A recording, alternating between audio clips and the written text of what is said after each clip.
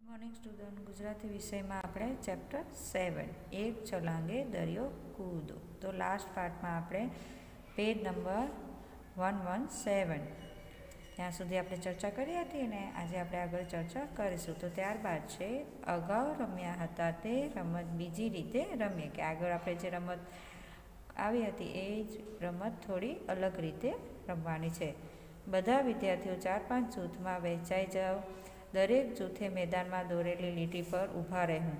આ લીટી પર દરેક જૂથના પ્રથમ સભ્યો હોય, ત્યારબાદ બીજા સભ્ય તેની પાછળ ઊભા રહે. આ લીટીથી પંદર વીસ ફૂટ દૂર બીજી અને એક આડી લીટી દોરો. બીજી લીટી પર શિક્ષક ઊભા રહેશે.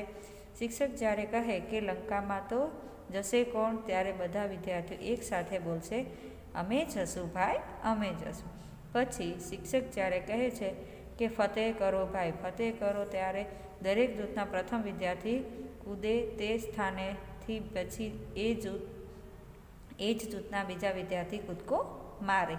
આમ જૂથના બધા મિત્રો વારાફરતી કૂદશે. જે જૂથ સૌથી ઓછા કૂદકામાં શિક્ષકની લીટી પર પહોંચે તે જૂથ વિજેતા ગણાશે. તો આ રમતમાં તમારા ઘરે રમવાની રહેશે. આ રમત રમવાની બે રીતમાંથી કઈ રીત તમને વધુ મજા આવી? આ રમત બીજી કઈ રીતે રમી શકાય તે તમારે વિચારવાનું રહેશે. ત્યારબાદ આ વાર્તામાં તમારા ઘરના વડીલોને મોટેથી વાંચી સંભળાવો, તેમની પાસેથી રામાયણ બીજી વાર્તા વાતો જાણો. એટલે કે તમારા ઘરના જે વડીલો હોય દાદા દાદી એમને આ વાર્તા સંભળાવવાની છે વાંચીને અને સાથે સાથે એમની પાસેથી રામાયણના બીજી બધી જે વાતો હોય તે જાણવાની રહેશે. ત્યારબાદ કૌંસમાંથી શબ્દ ઉમેરી વાક્ય ફરીથી લખો. અહીંયા તમને એક વાક્ય આપેલું છે અને કૌંસમાં એક શબ્દ આપેલો છે. તે ઉમેરી અને વાક્ય ફરીથી લખવાનું છે.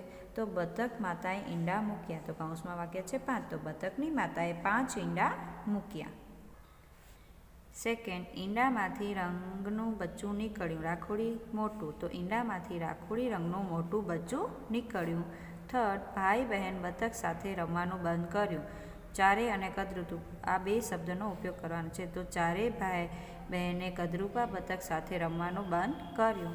ફોર્થ, વાવાઝોડાથી બચવા બતકડું જગ્યા શોધવા લાગ્યો. તેમાં શું શબ્દ ઉમેરવાનો છે, સલામત. તો વાવાઝોડાથી બચો, બચવા બતકડું સલામત જગ્યા શોધવા લાગ્યું. ફિફ્થ, પછી બતકડું સરોવર પાસે પહોંચ્યું. થોડા સુંદર કદરૂપા. આ બધા શબ્દ આપણે ઉપયોગ કરી વાક્ય બનાવવાનું છે. તો થોડા દિવસ પછી કદરૂપુ બતકડું સુંદર સરોવર પાસે પહોંચ્યું.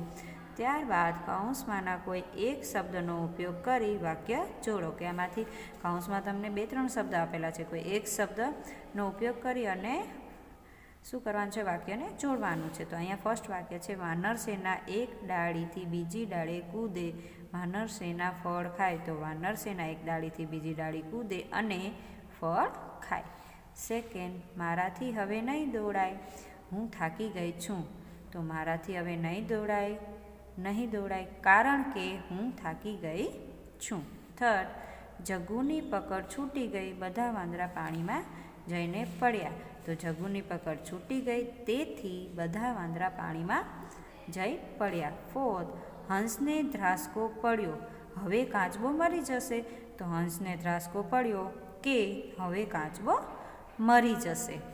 ફિફ્થ કાચબા ભાઈ તો છેક ઊંચેથી પડ્યા, મરી ગયા નહીં. તેમણે પેરા પેરાસૂટ પહેર્યું, પહેરેલું. તો કાચબા ભાઈ તો છેક ઊંચેથી પડ્યા, છતાં મરી ગયા નહીં, કારણ કે તેમણે પેરાસૂટ પહેરેલું. તો આ રીતે તમારે બી તમારી ટેક્સ્ટ બુકમાં લખવાના રહેશે. ત્યારબાદ મોટેથી ગાઓ પૂછડી હોય તો ડાયો થાવ નહીતર હું રઘવાયો થાવ પાંખ નહીં પણ આભે ઓળું કહેશો, તમે હું કોણ છું? તો તમારે આ કહેવાનું છે કે કોણ છે? કોણ છે એ તો એ છે પતંગ. એને પૂછડી હોય તો એ સરસ મજાનું ઉડે ને, નહીતર એ રઘવાયું થાય, એટલે કે બહુ ઉડી ન શકે. પાંખ નહીં, પણ આભે ઊભું. એને પાંખ નથી હોતા, છતાં એ આકાશમાં ઊંચે ઊંચે ઉડે છે ને કહેશો તમે હું કોણ છું તો એ છે. પતંગ, કાલે હવે ઉત્તરાયણ છે ને? ત્યારબાદ હશો વંદના. આખા દિવસનું સૌથી અઘરું કામ મારે બ્રશ કરતાં પહેલાં જ કરવું પડે છે. મેઘા, એવું તે કયું કામ છે? વંદના. સવારે ઊંઘમાંથી જાગવું પડે છે. તો સ્ટુડન્ટ આપણું આ ચેપ્ટર ચેપ્ટર સેવન એક ચલાંગી દરિયો કૂદો અહીંયા પૂર્ણ થાય છે. આ ચેપ્ટર રિલેટેડ કોઈ બી ડાઉટ હોય તો તમે મને ડાઉટ સેશનમાં પૂછી શકો છો. Thank you